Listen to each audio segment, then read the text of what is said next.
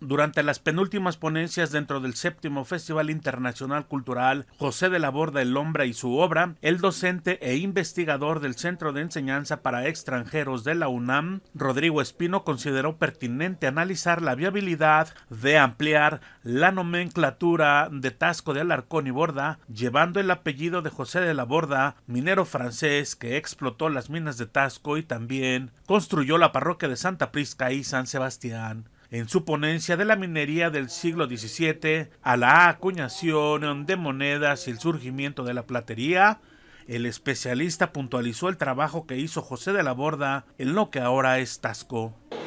Aquí hay toda una polémica, habría que decir, que sobre todo ahora que, se está manejando la idea de, que pues, eh, incluso el festival está proponiendo eh, por ahí la idea de que sea eh, renombrado, digamos, la zona de Tasco como también agregar lo de Borda,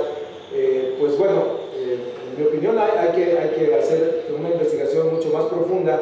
para ver eh, la importancia precisamente del personaje en todas sus dimensiones. Hizo un recorrido por la historia de la minería en lo que hoy es Tasco y también analizó la imagen del minero convertido en su momento en uno de los hombres más ricos del mundo. RTG Noticias, Raimundo Ruiz.